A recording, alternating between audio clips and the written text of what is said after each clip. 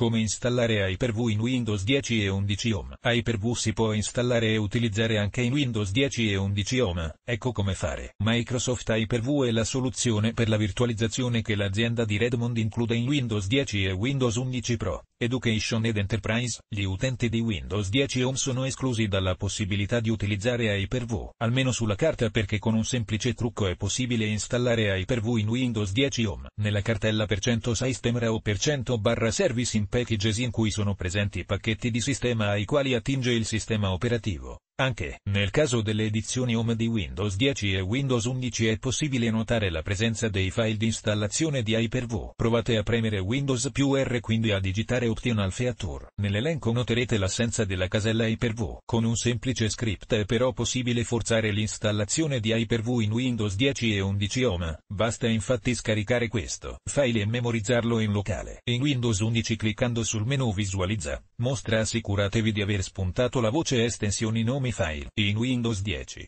ma anche in Windows 11, si può premere Windows più R quindi incollare RUNL 32, X Shell 32.